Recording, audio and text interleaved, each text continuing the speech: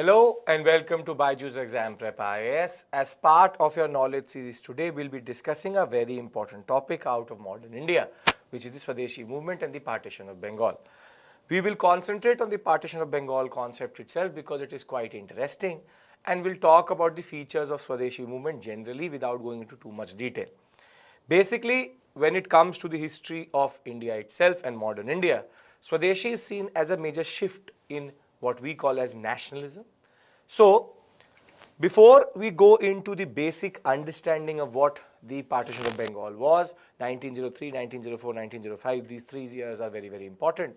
You basically need to understand one thing before we go forward, which is that between 1885 to 1905 or generally 1903, what we believe is that the nationalist movement or the national movement itself was based on moderate politics. And when we talk about moderate politics, it means that it is based on what we call as prayer and petition. But within these 20 years, technically, what happens is that there is a frustration which starts to build up within the national movement itself, in the people and the leadership.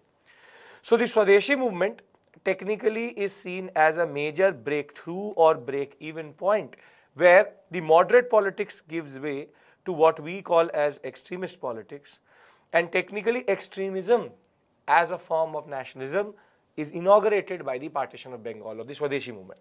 That is why it becomes a very important question and generally a very important topic for the exam because it is a part of a larger story and a major shift point. Now, the viceroy who is Curzon had various logics for the partition of Bengal. We also have the Secretary of State Risley also talking about why they wanted to partition Bengal. But basically Bengal as a province had become a problem for the British. Because if you look at the province itself, it is not as big as the Bombay Presidency, which would include even parts of Sindh. It's a big province, has parts of northeastern India, has parts of Bihar, Orissa and Bengal. But its most important feature was that it became the epicenter of nationalism. And this is a very important point that it became an epicenter of nationalism. Basically, Calcutta had become a major problem for the British because Bengal as a province, everything used to spread very quickly. Because the Bengali nationalist was very, very, very, very efficient in spreading the message and Bengal as such had radicalized under the actions of modern education and most of the social reform movement was also concentrated in the Bengal sector. Therefore, the modern education policy along with the social reform movement, what happens is that Bengal generally itself becomes a problematic zone because Bengal as such and the Bengali language technically to some extent gave a lot of homogeneity to this region. So basically, why Bengal is, a first, is the first question which we need to answer. Why would the British go against Bengal? Because Madras presidency is quite big, Bombay presidency is big. Their logic was that we wanted administrative convenience. That was just a logic just to confuse the nationalists. Technically, this was not that big a province when it comes or compared to Bombay or Madras. But basically, the question is that why did they go for Bengal? They went for Bengal because Bengal became a problematic thorn in British rule itself. And here, basically, the middle class intelligentsia was a product of the, the basic colonialistic policies itself. The modern education policy had now created a new educated class which was now asking questions. It also became the epicenter of the national movement itself because by becoming that it became a problematic zone and you will see by 1911 they will even shift the capital away from Calcutta to Delhi.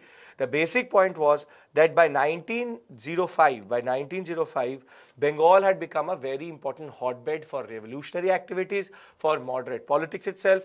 The INC activities were also quite concentrated in Bengal and generally the basic demeanor of Bengal, Bengali nationalists had become quite exaggerated, quite very, very important to the national movement itself. So basically, this is the first point which you need to remember. Why Bengal? Because it had become the epicenter of the national movement. And the economic critique, the criticism from colonialism, everything when it comes to the policies, when it comes to constitutional reform, when it comes to what was happening with regards to drain of wealth, the criticism for colonialism was coming from Bengal itself. And because of the Bengali language and culture, it was quite homogeneous, meaning things used to spread quite quickly, quite quickly. So that was one of the reasons why Bengal itself became a very important province in the larger story of our Indian nationalism. Now the point which you need to understand is that what Curzon is going to do or what Risley is going to do is technically play a very important masterstroke. The intended consequence was not the Swadeshi movement, but technically the masterstroke was how they were technically divide Bengal itself. Before I go to the British logic and whatever they said, you need to understand one thing very, very clearly. Their basic argument in most of the official documents is Bengal is too big a province we need administrative convenience. For administrative efficiency, we are going to divide Bengal. But that is technically not going to stand for long because at the end of the day, Bengal at this point of time technically was not as big as even Bombay presidency. So basically that logic would not work. Bombay was not being divided, so why would you divide Bengal? Bengal was about breaking the back of the nationalists. And that we can see in a basic logic, which is that Indian nationalism was gaining strength and the partition would, would expect or was the expected intended consequence was that it would weaken the perceived strength of the nationalist and it was becoming a center of Indian nationalism. That is why it was important. The government decision to partition Bengal was already in the mix by 1903. 1904 we had the very famous court of Risley and that court itself is very very significant because the Home Secretary to the Government of India, Risley, will argue in on 6th December 1904, and this was the basic logic, that Bengal united is power. Bengal divided will pull several different ways, meaning that if we divide Bengal, it will start to go different ways. This is what the Congress leaders feel, meaning the INC also knew that if they're trying to do this, generally dividing Bengal was about dividing the nationalists itself. Their apprehensions are perfectly correct. They form, they form one of the great merits of the scheme. In this scheme, one of our main objects is to split up and thereby weaken a solid body of opponents to our rule. Basically, this quote itself tells you what was the basic thing which, which the British wanted, which is that the British wanted to break nationalism and nationalism at this point of time the epicenter was Bengal. There were activities which were happening in Madras and Bombay, but Bengal, it was going out of hand for the British. Now, how will they divide Bengal? They will decide that we will have two Bengals, one Western Bengal comprising of Bengal, Bihar and Orissa. On the other hand, we have Eastern Bengal which will have Eastern Bengal and Assam. The capital of Western Bengal will be Calcutta and Dacca will be the capital of Eastern Bengal. But the master stroke of this division, the line which you see here, is not the way they divided it, but it was how they were technically going to divide the Indian itself or the Bengalis itself. See, the basic logic of dividing Bengal like this, this is the partition of Bengal which was then planned for 16th October 1905. This is going to happen on 16th October 1905. This line is going to come into existence. Now, the basic point was that the the way they wanted to divide, the line which they decided to divide, or Curzon, what he wanted to divide Indians into, is on two bases. One on language, other on religion. So remember, it is not just religion, but language. So basically, the Bengali Hindu nationalist was the problem for was the problem for the British. Now what they wanted to do was they wanted to make this Bengali Hindu nationalist into a minority in both places. What do I mean by that? Basically, in this sector, in the West Bengal sector, this sector, the logic was language and in this sector, it was religion. What do I mean by that? What I mean by this is that in this sector, the Bengali, the Bengali Hindu would technically become a linguistic minority because it has Hindi speaking, Bhojpuri speaking and Udiya speaking sectors. So out of the 37 million people here, the 17 million only speak Bengali. So basically in this sector, it was about making the Bengali Hindu not based on religion. Basically all are Hindus. But it was about technically making them linguistically minority. On the other hand, in this sector, the logic was that this sector more or less he will become a minority or she will become a minority based on religion. Because here the Bengali Muslim population was quite big. So basically in eastern Bengal and Assam, the basis was religion that we will technically break the Bengali strength by making sure that the Bengali speaker is both a minority in this and this somehow. And in this, he is a minority according to language, and in this, he is a minority according to religion. So basically, this was a master stroke which Curzon was technically playing with, which was to technically break Bengal in such a way that the linguistic and the religious basis both were at play at the same point of time. So basically this division was based on two things basis of language and basis of religion. Reducing the Bengalis to a minority in Bengal itself as in the new proposed Bengal there were only 17 million Bengalis and 37 million Hindi and Uriya speakers. So technically language basis they become a minority. On the other hand, on the basis of religion, in the western half there would be a Hindu major, minor, uh, majority which is 42 million out of 54 million. In the eastern half there would technically be a Muslim majority 18 million out of the 31 million. So basically in this they become a minority on the basis of religion in this in the basis. So this becomes the language minority sector, this becomes the religion minority sector. Now this is again significant why? Because this was to technically break the back of Bengali nationalism.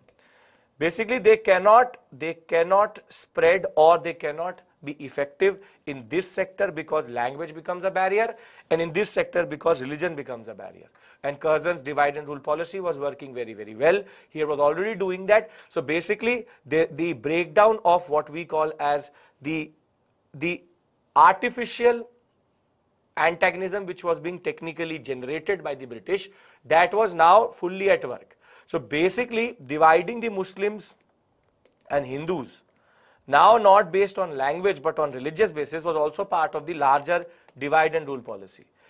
And remember, there was no natural antagonism between these communities in this sector. It was all artificially created and that was all British policy. All communalistic trends when it comes to Lithgow, when it comes to Curzon, everything was all British policy. We have the basic Hindu-Muslim politics of this region was quite stable for a very, very long time. It was only British politics which started to play with it and started to create this us versus them or the concept of Hindu versus Muslim. That was all artificially generated in this sector. Now, the basic point is, I hope that you understand the first point, which is why were they dividing Bengal in such a way? So we've now understood why Bengal, which is because it was in this Calcutta became an epicenter of nationalism. On the other hand, we now understand what is the basic logic of the British, which is the intended consequence was to divide the Bengali nationalists into two minorities, language basis and religion basis. And now we also have an understanding that what is the basic divide and rule policy. So what was the consequence or what was the response to this which technically becomes the Swadeshi movement? So remember the Swadeshi movement is a direct response to the to the partition of Bengal that is why they are taught together. So the Swadeshi build-up will start since 1903 itself there were rumors of this to happen. So at that point of time, the leadership, which was going to go against the British and argue against the partition of Bengal, arguing against that administrative convenience, is S.N. Banerjee, K.K. Mitra, and we have P.C. Ray. And basically, they will be the first form of leadership which will try to use a lot of petitions, lots of protests to break down the basic logic of what we call as the partition of Bengal. So the methods they adopted were petitions to the government, public meetings, memoranda, and they even had used, used newspapers such as the Hitabadi, the Sanjeevani, and Bengali. Now, basically, they are still showing moderate traits. And this phase is important because between 1903 to 1905, moderate method will, will be used. Once the moderate method will technically not work, they will move to Swadeshi. And the strength of this protest can be gauged from the fact that with the first two months we have close to 500 protests which were happening and meetings which were happening in East Bengal alone, which is in the in the eastern sector, Dacca and Chittagong sector. Now basically the first build-up, as I told you, is this moderate phase. It's not that moderate, moderate politics was automatically given up. It was technically created. It was technically created by moderate politics initially and then abandoning of it when the British will not do anything. The outcry was so much that in March of 1904 and January of 1905, there were numerous petitions, close to 69 of them, with close to 70,000 people signing it which was sent to the government of India and the Secretary of State saying that the partition of Bengal should not go forward. They knew that the partition of Bengal was not being done for administrative convenience. It was dividing the Bengalis on the basis of language and what we call as religion. So basically the outcry was very, very justified because they knew what the British were trying to do, which is to break Bengali culture. So we now understand why Bengal, how Bengal is being partitioned and we understand the outcry. Basically, first it is moderate politics. But by January of 1905, when it was clear that on 16th October 1905 the partition is going to happen, the movement starts to shift. And when the movement starts to shift, the basic understanding changes. So, the formal proclamation of what we call as the Swadeshi movement, once the moderate politics will be given up, came on 7th August 1905 in a meeting in the Calcutta Hall. The movement, which became now more and more sporadic and spontaneous, focused on and with the leadership now moved away from petition to protest and what we are going to see is boycott and the Swadeshi program. And they assembled in a town hall and formed what is called the Swadeshi Bandhav Samiti, which propagated the Swadeshi goods and services. Now, this word Swadeshi which is indigenous became very, very important against foreign. And I'll talk to you about the Swadeshi program generally. But at 7th August meeting, the famous boycott resolution will be passed. Even moderates such as Surendranath Banerjee will tour across the country to talk about boycott. And on 1st September, the government formally announced that 16th October 1905, the partition is going to happen. So basically, the first and foremost protest which they found was boycott. Now you're going to say, sir, why boycott? The point is that boycott is important because the basic nationalistic argument was that the British were here for economic interest. So they wanted to hit the British where it hurt the most. So they said that their basic industrial revolution and their factories are filling up our country with cheap cloth Let's do one thing. Let's make sure that their economic interest is hurt.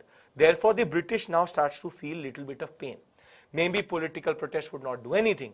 But once their economic, basic economic logic and basic economic opportunity in India would be taken away, the Britisher would start to in a way feel the pain. And that is why Swadeshi becomes important because they were able to devise a program which would actually make the British think about their policy. So, the Swadeshi movement itself is technically considered a very important watershed moment in Indian history because of the fact that the Swadeshi program was quite unique.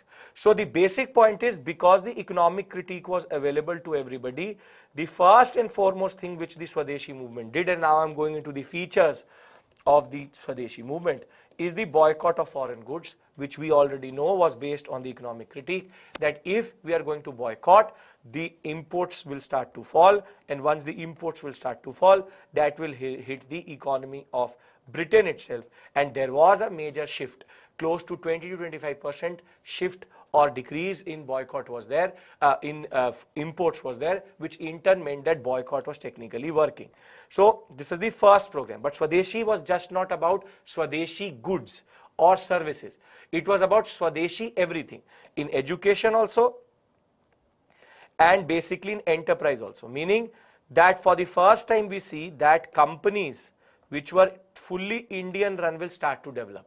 And this word Swadeshi became very, very important because the word Swadeshi now did not just mean goods but everything else. So we see national education where students will leave all British run colleges and schools. That was again a form of Swadeshi.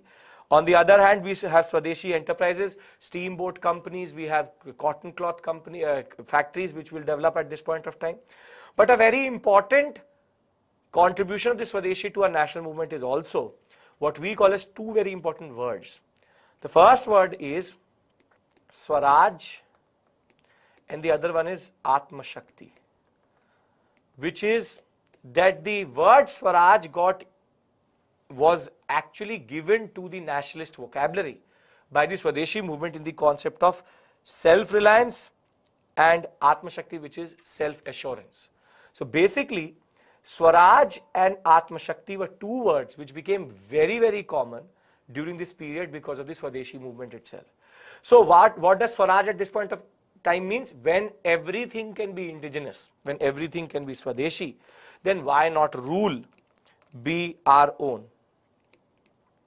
So this concept of Swaraj, which will become extremely important and we will have, we want, we, by 1929 we will want Purna Swaraj.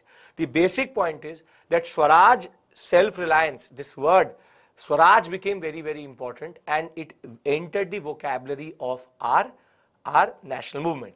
Second is Atma Shakti, which is that the British throughout their initial intervention throughout the company rule had argued that Indians don't have the capacity to rule themselves or don't have the capacity to even produce anything. We were uncivilized, we were barbarians. This Atma Shakti concept is to believe in what then Indian can do and what a basic Indian can do with regards to enterprise, with regards to education and this is a very important point because Atma Shakti gave or broke away this white man's burden concept and now it was very very clear that Swaraj and Atma Shakti were now household words which had entered the vocabulary itself. So we have national enterprises, we have national education as in response to hit the basic concept of Swadeshi. Boycott was not just in goods but of boycott of schools, colleges and everything else. On the other hand, in culture sphere, we will see new paintings. We will have important literature which will develop, which will talk about what we call as the concept of Bengal, the concept of Bengali culture and bring everybody together. An important method again which was developed at this point of time which will be taken forward by Bal Gangadhar Tilak himself which is using festivals and melas as a very important way of spreading the message. So the when Rabindranath Tagore will call for what we call as the Raksha Bandhan on 16th October 1905 he will say that from north and from east and west Bengal everybody should technically tie a Raksha Bandhan as a form of solidarity, as a sign of solidarity. He was using a festival in order to push a message. The same way all Bengali festivals and this, this program will spread very quickly to Bombay also, to Madras also. Basically, they were now using cultural means to express nationalism. And then we have public meetings and processions as very standard things. So we have picketing, the, uh, the alcohol, the basic picketing was of alcohol shops because in on alcohol there was a lot of duty which the British used to take. So basically when it comes to cloth, when it comes to liquor, when it comes to other things, it was very, very common that the, Swadeshi program was very, very effective in that regard. So, before I go to the questions itself, you should understand one thing, which is that the basic concept is very simple. Why Bengal? because Bengal was the epicenter of national movement. What was the logic which was given to the people? Administrative, but technically not true. The logic of the British was to break Indian nationalism and that was to break Bengal. Bengal in such a way that technically divi gets divided on the basis of language and on the basis of what we call as religion and on the basis of language they would become a minority in West Bengal and they would become a minority in East Bengal on the basis of religion. Then the response between 1903 to 1905 is generally what we call as the moderate phase of the Swadeshi, which is petitions and a lot of protest along with a lot of town hall meetings. Newspaper is used quite a lot. After 1905, the proper Swadeshi program is introduced. And the Swadeshi program generally is important because it talks about boycott, it talks about national education, it talks about national education and national enterprise and the concept of what we call as the concept of the Swaraj and Atma Shakti became very, very important and this will become the stepping stone to the next phase of Indian nationalism, what we call as the extremist phase and between 1905 to 1915 we will see that the Swadeshi program will also lead to technically a split between the moderates and the extremists in the, in the Surat session, Surat split. But 1905 to 1915 extremist phase, Lal Bal Pal, Lala Lajpat Rai, Bal Gangadhar Tilak and Bipin Chandra Pal will become extremely important personalities with regards to Surendranath Banerjee and Firoz Mehta on the moderate side.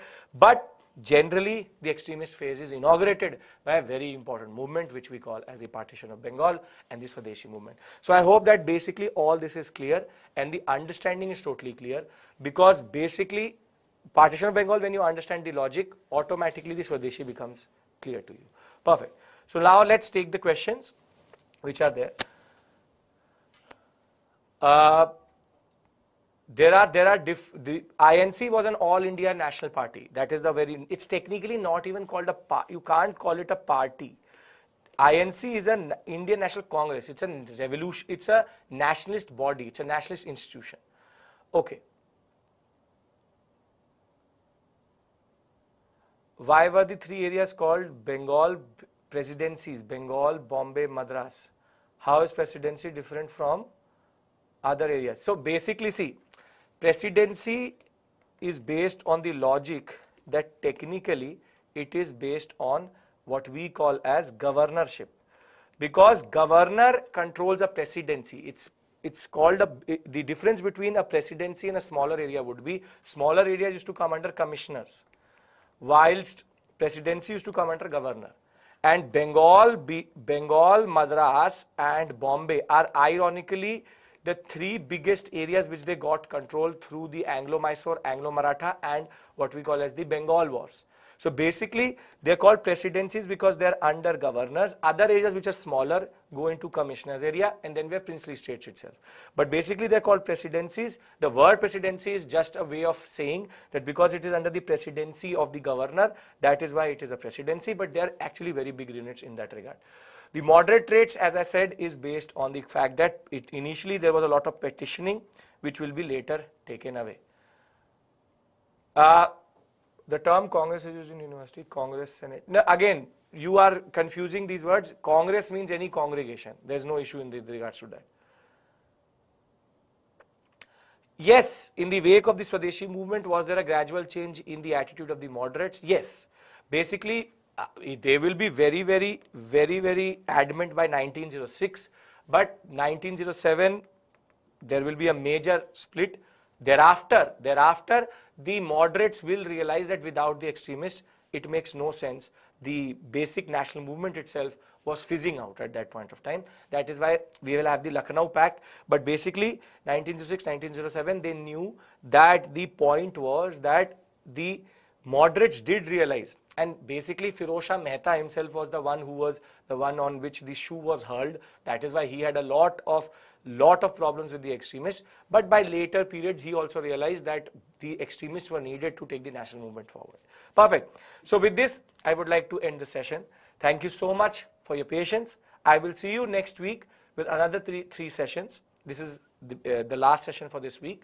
So we'll be talking about Sufism, we'll be talking about decline of Mughals, and we'll try to mix and match another topic related to art and culture. So basically, we are trying to give you as many topics related to mains and prelims as possible in the knowledge series, and I hope it is helping you in your preparation. Thank you so much. I will see you in the next video. Take care. Bye-bye.